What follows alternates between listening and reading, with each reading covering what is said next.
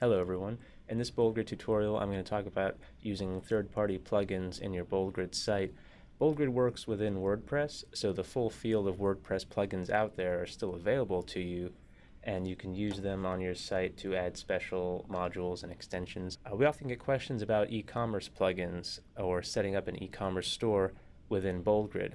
To demonstrate how easy it is to get started, I'm going to install the WooCommerce plugin, which is an e-commerce plugin that was built for WordPress.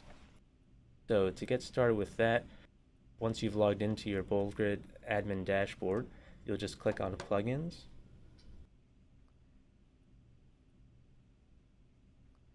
And then click Add New. And I'm going to do a quick search here for the WooCommerce plugin.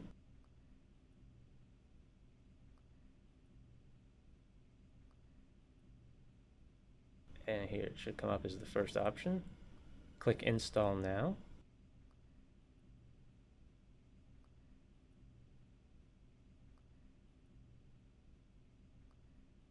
And then click activate.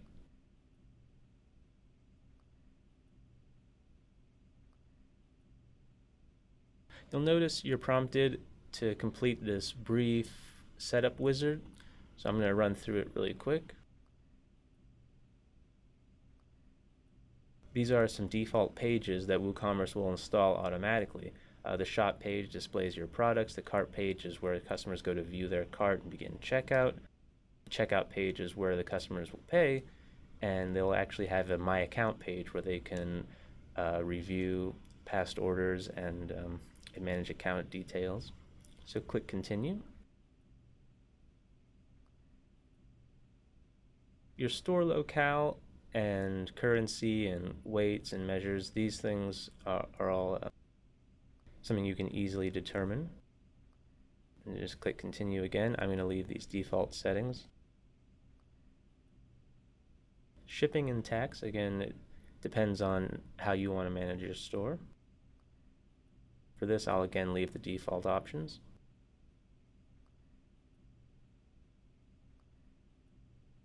Payments, I'm going to enable PayPal and continue.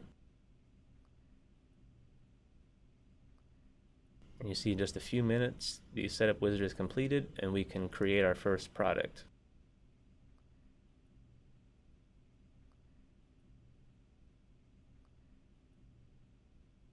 I'll just give the product a name, description,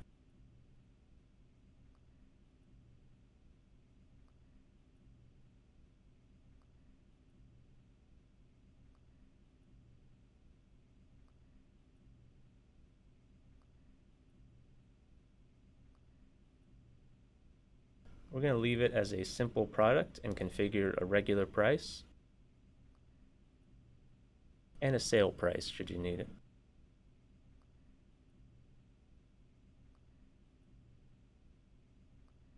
I'll also put a category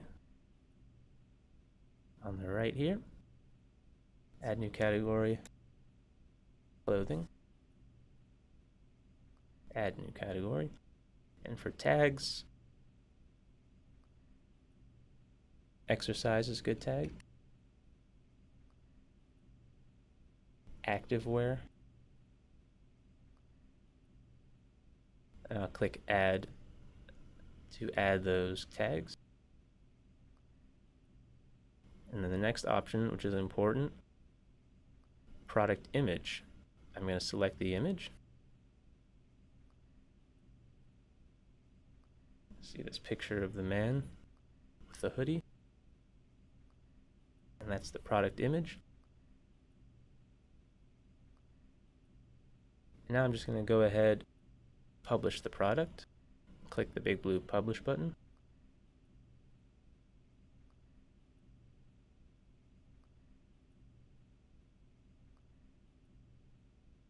Now I'll click view product.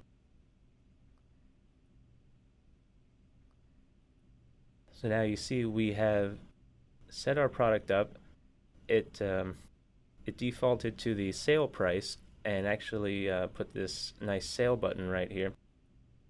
But You can, of course, uh, activate and deactivate sales whenever you prefer. And you see my description is included here.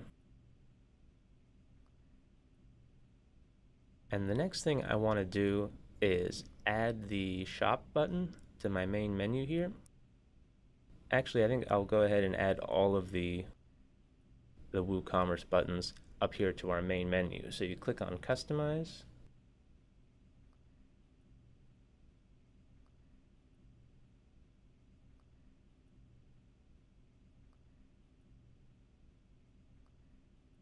And I'm going to click the little pencil right next to the menu here.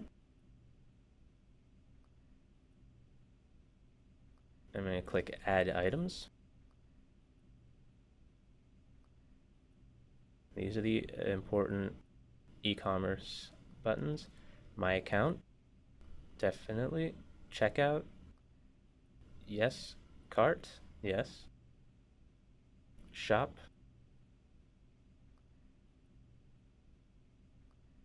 and I think that'll be good for now. I'm going to click Save and Publish.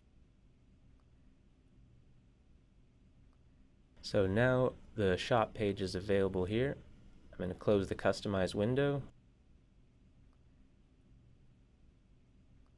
And now your customer would arrive here. They can click shop. And there's our hoodie. And of course, any products you add will automatically populate to this page.